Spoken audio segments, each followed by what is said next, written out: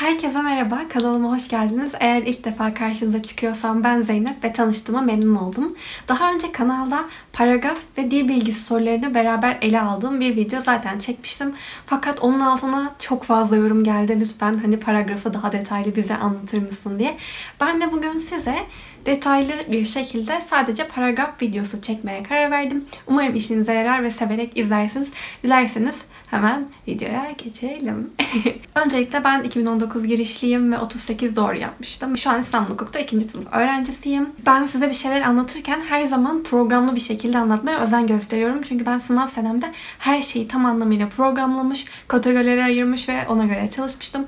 O yüzden size de bunu aslında tavsiye ediyorum. Her videomda tekrardan söyleyeyim dedim. Burada bir defter var ve ben size konu konu nasıl hallettiğimden bahsedeceğim şimdi. Burada dört ana başlığa ayırmışım paragrafı daha doğrusu paragrafı nasıl çözmem gerektiğini, ilerletmek için ne yapmam gerektiğini dört başlığa ayırmışım. Şimdi birincisiyle başlıyoruz. Öncelikle bence paragrafta yüksek net yapmak için bunu birçok kanalda duyuyorsunuz ama gerçekten en önemlisi bu düzenli çözmek. Yani bir hafta içinde 7 günde her gün 20 sorudan haftada 140 soru çözün. Ama o 140 soruyu oturup da perşembe günü çözmeyin mesela. Hani çünkü size bir şey katmayacak o. Ama her gün oturup 20'şer soru çözerseniz bu zaman içinde e, gerçekten size çok daha artı şekilde dönecek. Yani böyle oturup tek seferde paragraf çözmek değil de düzenli olarak beyninizi çalıştırıp düzenli olarak metinleri anlamaya çalıştığınızda beyniniz bunu daha kolay yapabilir hale geliyor. O yüzden bence en önemlisi düzenli hareket etmek olacaktır. İkinci tavsiyem de paragrafı konulara ayırarak çözmek. Yani sadece paragrafa paragraf deyip geçmemek. İşte bu bunun içinde e, nasıl desem işte anlatımın akışını bozan cümle. İşte hangi şıkta bu anlam çıkartılamaz sorusu ya da işte anlatım tekniklerini güçlendirme sorusu gibi farklı farklı alt başlıkları var aslında paragrafların ve bu alt başlıklara göre çözerseniz gerçekten çok daha fazla ilerleme kat edeceksiniz. Ee, yani her soruya ay bu paragraf deyip yaklaşmayın. Hepsinin farklı bir çözümü var konu konu ayırdığınızda. Buna dikkat etmek çok önemli. Ve şimdi size ben bir kitaptan da bahsetmek istiyorum. Çünkü ben kendi sınav seneme hazırlanırken bu kaynağı kullanmıştım ve çok memnun kalmıştım. Bu senede yeni basımını çıkartmışlar. Tabii ki size 2019 basımını tavsiye edecek halim yok.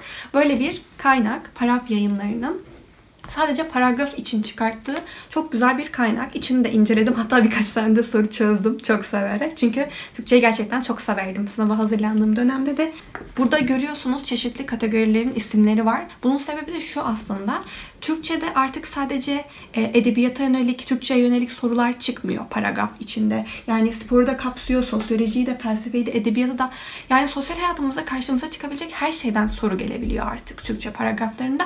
Ve hepsine hazırlıklı olmak, sınava da hazırlıklı olmak anlamına geliyor. O anlamda bu kitabı çok beğendim. İçeriğinde de az önce bahsettiğim grup grup paragraf çözme sistemine göre ayrılmış. Bu yüzden de size hemen içini göstermek istiyorum. Bakın burada paragrafları gruplandırmışlar. Bunları ünite ünite şeklinde yapmışlar ve bu ünitelerin sonlarında da hedef sorular yer alıyor. Hedef sorularda kolaydan zora doğru sıralanmış. Yani bu da aslında o konuyla ilgili en kolay ve en zor soruları göreceğiniz anlamına geliyor. Ee, bir diğer özelliği de mobil uygulaması var. Mobil uygulamadan istediğiniz gibi yanlış yaptığınız sorunun cevabını dinleyebiliyorsunuz. Son olarak da bütün kitabı bitirdiğinizde en arka sayfada hız testleri var. Yani TYT'de maalesef Türkçe'ye verebileceğiniz belli bir süre var. Çünkü TYT genel anlamda kısa bir sınav. Burada da hızlanmanız için işte 30 dakika, 29 dakika, 28 dakika diye süreler verilmiş hızlı denemelere tek tek. Eğer ilgilenirseniz ben kitabın linkini aşağı bırakıyor olacağım. Belki bakmak istersiniz.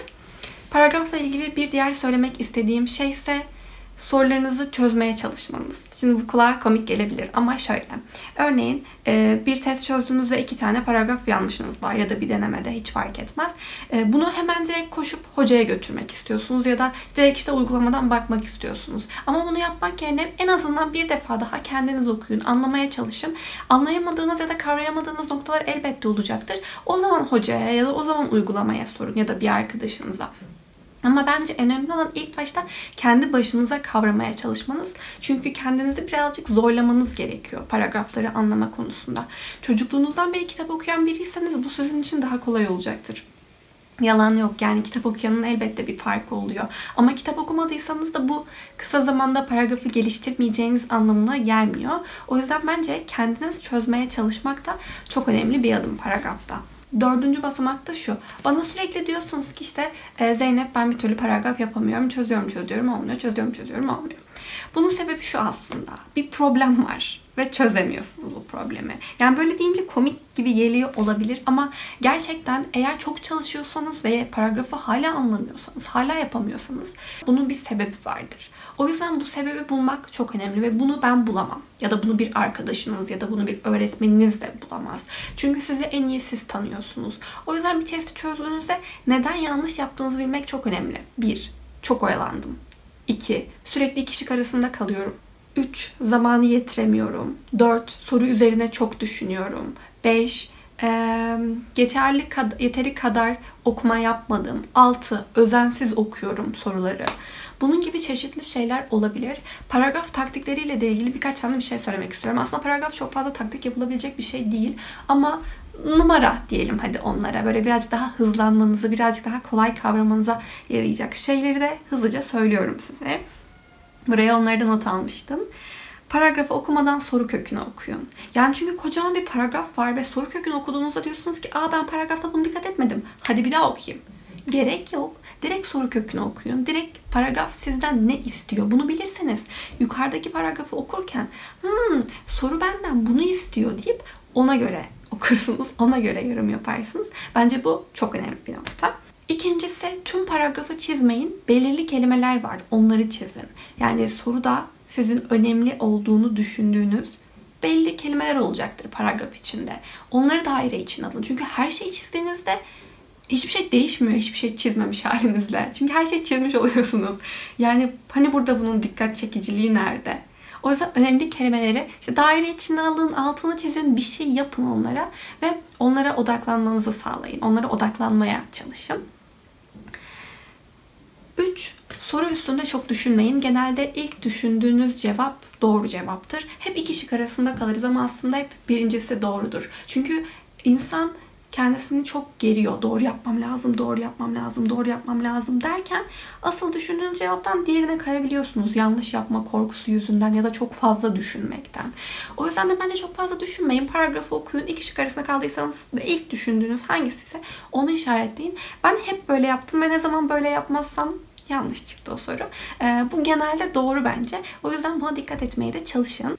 Bu video bu kadardı ve ben size genel olarak paragrafı nasıl çözeceğinizden, paragrafta yüksek yapmak için neleri kullanabileceğinizden bahsetmek istedim. Umarım hepiniz severek izlemişsinizdir ve kanalıma abone olup videoyu beğenirseniz beni çok mutlu edersiniz. Diğer Türkçe videosunu da izlemek isterseniz onun için de dil bilgisi de vardı. Şuradan bir yerden izleyebilirsiniz. Bu kadar. İyi seyirler, hoşçakalın.